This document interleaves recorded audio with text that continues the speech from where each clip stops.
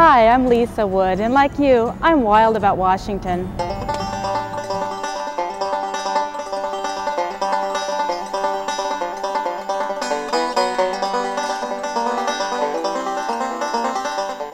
If fishing is your passion, you're lucky to live in Washington. We fish year-round, and there's always something to fish for. Here's one you might not have tried yet. Today we were fishing uh, kokanee in a western Washington lake. Um, kokanee, landlocked sockeye salmon, um, offers quite a bit of recreational opportunity as we move into the summer months. Early in the spring, certainly trout kind of take the spotlight, but uh, kokanee is a real prize game fish. Uh, many anglers out here uh, targeting kokanee specifically. Um, and one of the things about kokanee that make it so uh, attractive to anglers is the, the, quality of fish and the um, real sought after fish for uh, eating. Requires a little bit of a different approach. Uh, you saw us this morning, we're using downriggers. You don't see people catching kokanee from the shore like you would a rainbow trout, but uh, there's a lot of opportunity to fish kind of a uh, a unique fishery, more of a technical approach. Um, we're fishing down, like I said, on a, a downrigger um, using some flies and some attractors uh, with a little bit of shoe corn. Understanding which lakes contain kokanee, I guess, would be the first, first uh, place to start.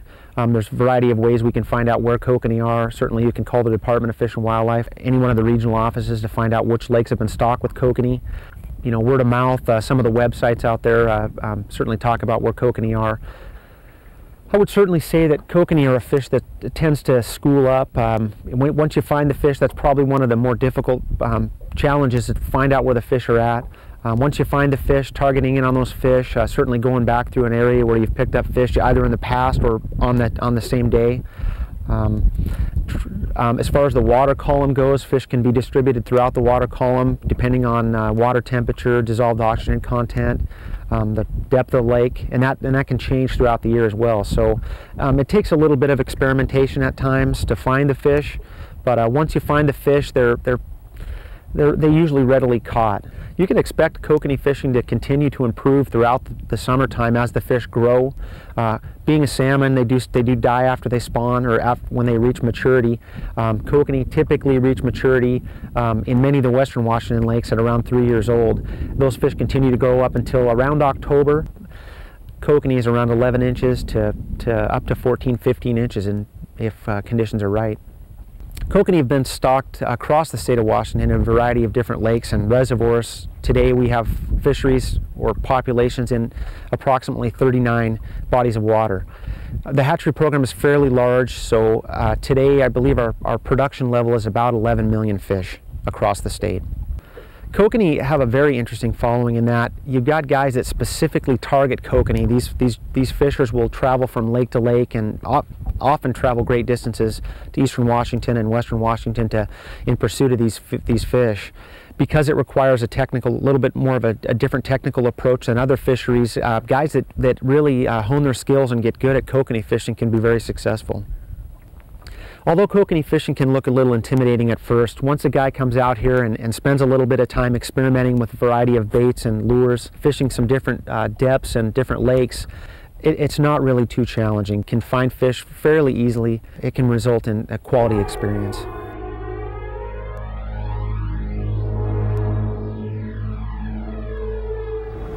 Here are other fishing opportunities in the weeks ahead.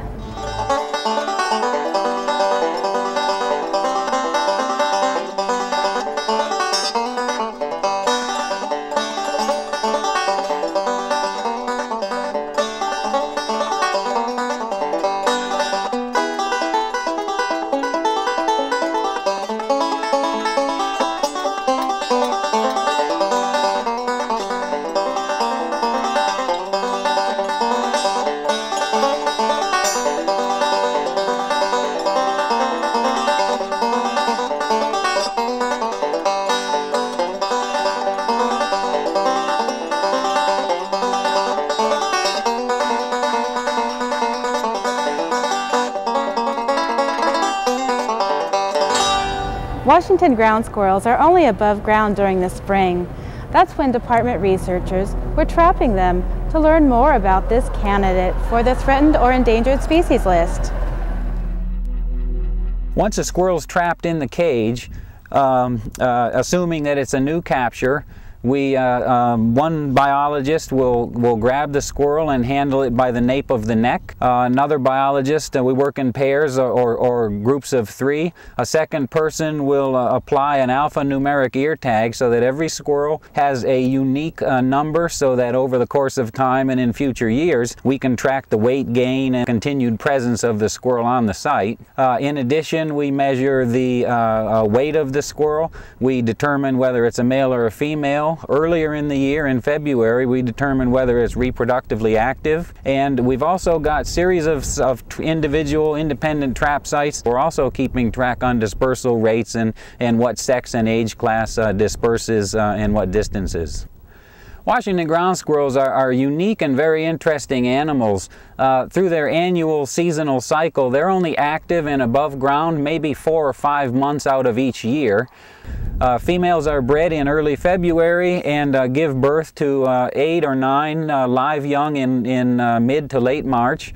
Uh, the pups are weaned from the females by mid-April and, and come above ground to begin their life as a foraging animal.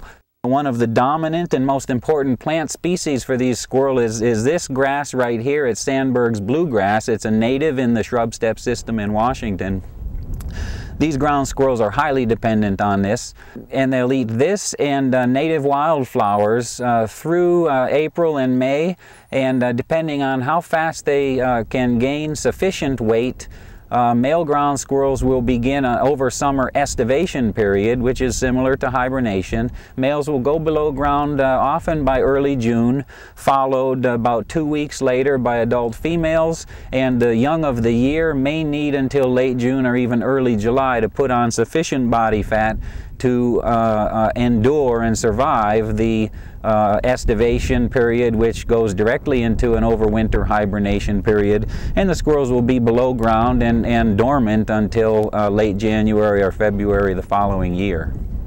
The basis for the study that we're conducting is to examine the, uh, the demography or the population dynamics of ground squirrels uh, over time uh, in uh, across the uh, variation in existing uh, vegetative cover types that are common in eastern Washington. Some of the sites are dominated by uh, native grasses such as Sandberg's bluegrass and blue bunch wheatgrass uh, along with native uh, wildflowers. And at the other end of the spectrum, uh, several of the sites where we're working are uh, dominated primarily by cheatgrass and other non-natives. Uh, the reason for this, again, is so that we can examine uh, the effects and the interplay of different vegetative species and cover types on ground squirrel health and nutrition and, and see how that relates to overwinter survival, um, reproductive capacity, uh, and over general health of individuals in uh, one population uh, to the next.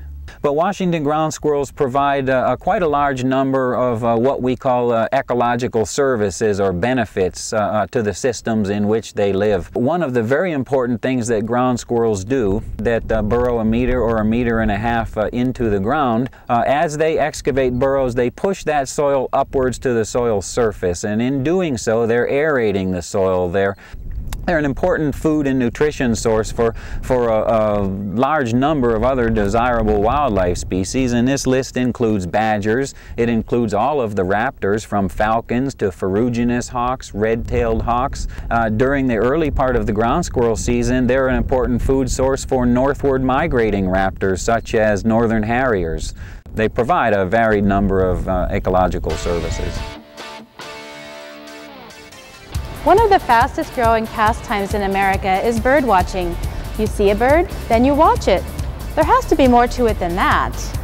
Well, there doesn't even have to be any more to it than that.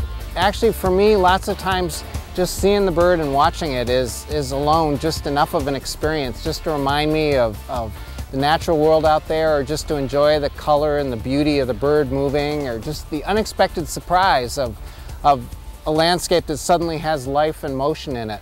And lots of times that is just enough for me, but it, it, most of the time it really isn't. I want to know what kind of bird that is. Sometimes that's easy to figure out. It's a bald eagle. That's pretty easy. Or sometimes it can be pretty hard. Telling the flycatchers apart or telling different sandpiper species apart can be a real challenge. Sometimes I just want to know what the bird's doing and why it's doing it. Why is it here at this particular time? Why is it behaving in this way? Why is it doing something that I've never seen it do before or singing a certain song that's different than the others of its species? So it can take you in a lot of different avenues. One bird can just be an experience or it can be the beginning of a long path. And that's all part of it. it, is not only the, the beauty of looking at the birds, which is probably the main thing that catches people into birds and their songs, um, but it's being able to travel to different habitats, to the top of mountains, to deserts, to different countries. There's always going to be birds. Uh, the reason I got into birding was um, I took a class, an ornithology class with uh, Dr. Huffman in uh, San Marcos, Texas, when I was going to school there, and it just opened up a whole new world.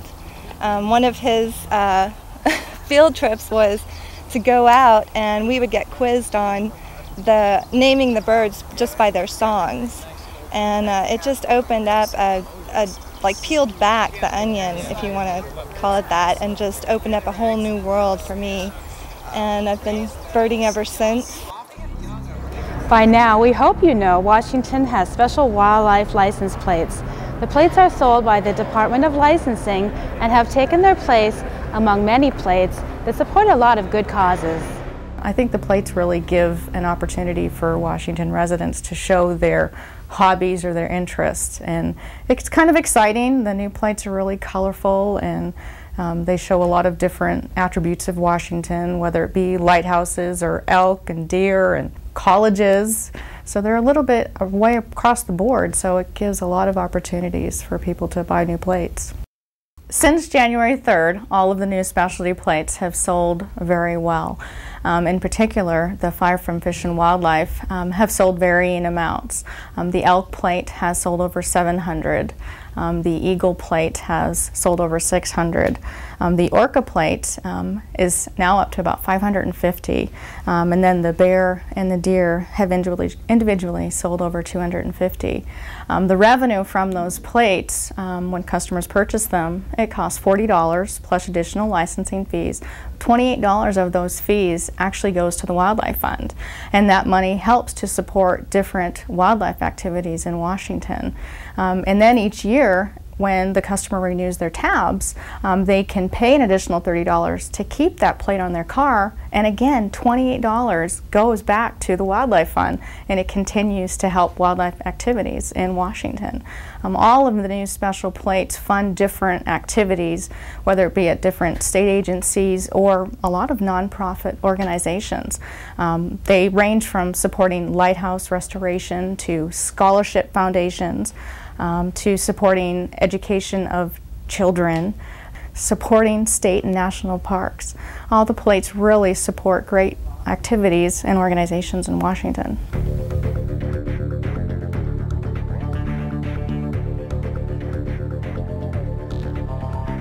This has been Wild About Washington, brought to you by the employees of the Washington Department of Fish and Wildlife.